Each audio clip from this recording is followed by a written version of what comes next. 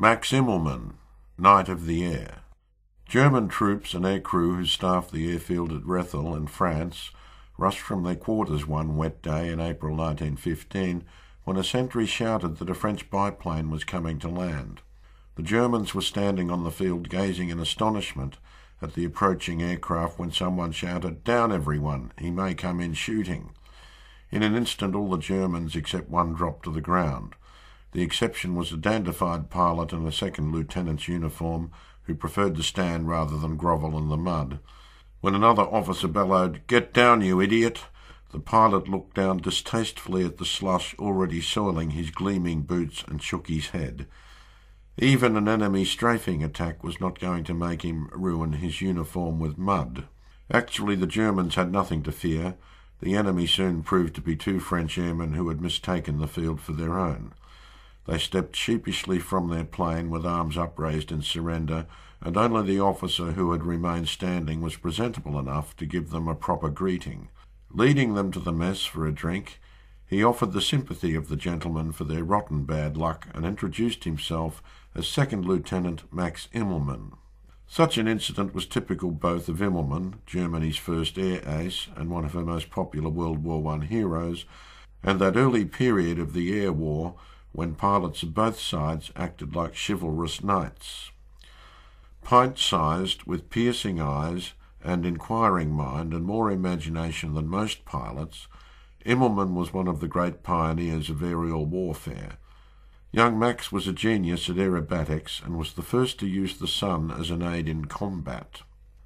He also devised the famous and deadly aerial manoeuvre known as the Immelmann turn and introduced formation flying.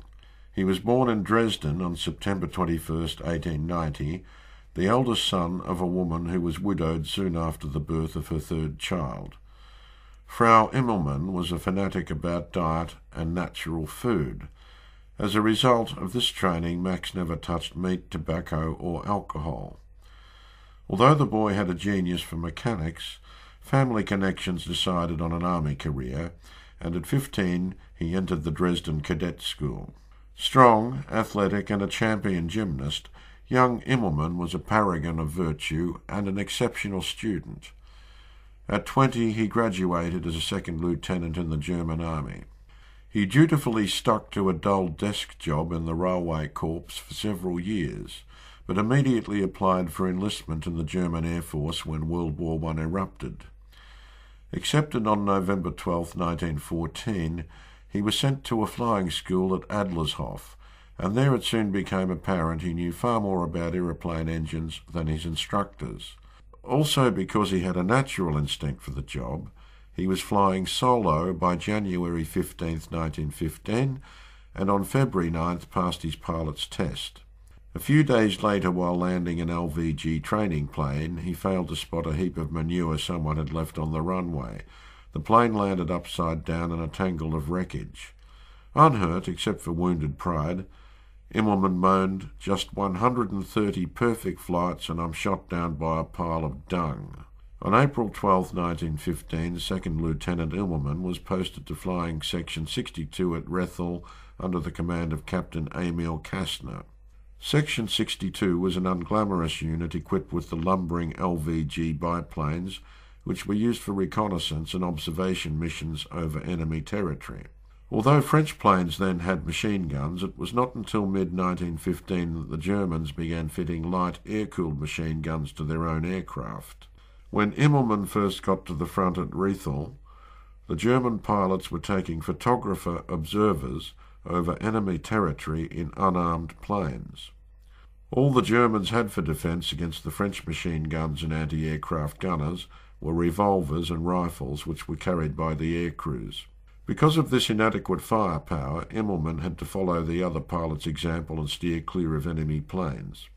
Then on June 2nd, when on a photographic mission above Arras, the young German ran straight into a French Farman equipped with a machine gun. Deciding to bluff his way out of trouble, he gave his LVG full throttle and barreled straight at the enemy.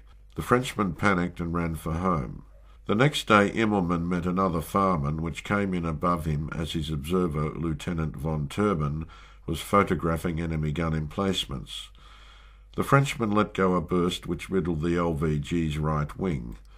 Immelmann glanced back at von Teubern, who shook his head, indicated he had not finished his work and kept on clicking his camera. So the helpless German plane doggedly stayed on course while the Frenchman continued zooming and blasting the target with heavy fire. At last, looking up from his camera, von Teubern gave a nod. Wasting no time now, Immelmann dived out of the Farman's range and headed for Rethel. He landed safely despite his aircraft looking like a colander. For that adventure, he and his photographer were later presented with the Iron Cross Second Class. A few days later, Section 62 was transferred to the airfield at Douai. Immelmann was one of those selected to take over a fighter type LVG equipped with a machine gun. Now he could hit back. He could also do some hunting himself. The second time the German went up in the new fighter, a straight shooting Frenchman put a bullet through his petrol tank. Immelmann had to make a hasty landing in a cornfield. Several times after that he sighted French planes, but he marked up no kills, for usually after brief dog fights the enemy retreated across their own lines. Max Immelmann, by then promoted to lieutenant, still had not opened his score of kills. Then in July, two brand new Fokker fighters arrived at Douai. The machines, which were equipped with a parabellum machine gun synchronized to fire through the propeller blades, were allotted to Immelmann and his friend Lieutenant Oswald Boelcke. Just before dawn on August 1st, ten French bombers attacked Douai aerodrome. The raid was still going on when the two new Fokkers took off after them. While Boelcke engaged two of the bombers in a running fight at 8,000 feet, Immelmann got a two-seater biplane squarely in his sights. His machine gun got off a burst but then jammed. Calmly he flew no hands for the next few minutes while he struggled to free the gun mechanism. Nor did the fact that the two French fighters kept blasting at him with everything they had make his task any easier. Finally, when his gun was free, he wheeled his Fokker after one of the Frenchmen. The French aircraft could not match the Fokker's manoeuvrability, and Immelmann soon pounced on it from above his machine gun pouring in long bursts at point blank range. Almost completely wrecked, the French plane began a steep glide earthwards, with the German riding its tail and emptying the last of his ammunition belt into it. Once the enemy managed a bumpy landing in a field, Immelmann set his Fokker down nearby. He ran over to find the pilot still trying to struggle from the cockpit with a shattered arm. Immelmann helped the Frenchman to a patch of grass, laid him down, and bandaged the wounded arm. Then the German troops came running to take the French pilot prisoner. Immelmann flew back to Douai, where later he was to receive the Iron Cross First Class. After that his score mounted steadily. By October 1915 he had shot down five victims and also perfected the now famous Immelmann roll. The roll was an air manoeuvre in which he reared his Fokker up as if to loop, but instead turned or rolled sideways over the vertical and came out in the opposite direction. The result gave the aircraft extra height and changed its direction at the same time. Immelmann's chief tactic was now to lurk high above the German lines and pounce on French and British aircraft on their way to photograph installations. Although his score of victories was small by later standards, Immelmann was catapulted to national fame.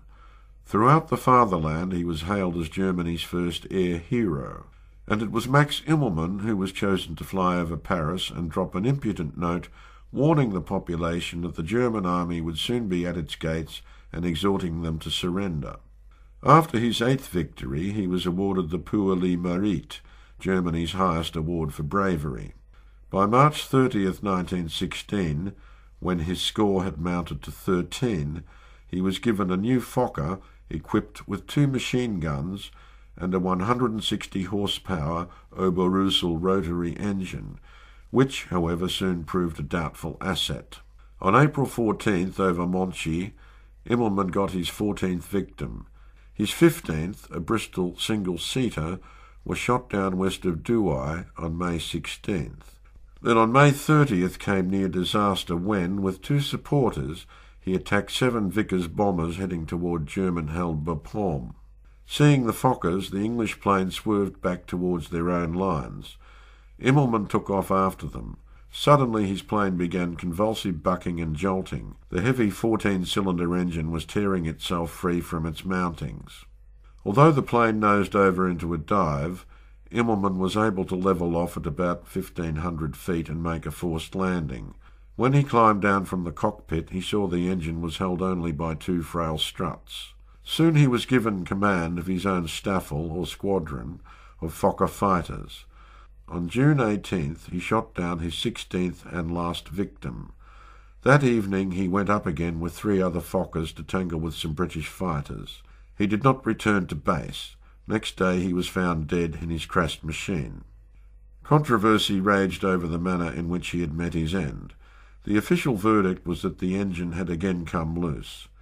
But the manufacturer, Anthony Fokker, denied this after examining the wreckage. He claimed that German anti-aircraft fire directed at the British planes had caught the ace. The third version was that he had been shot down by the South African Lieutenant G. S. McCubbin.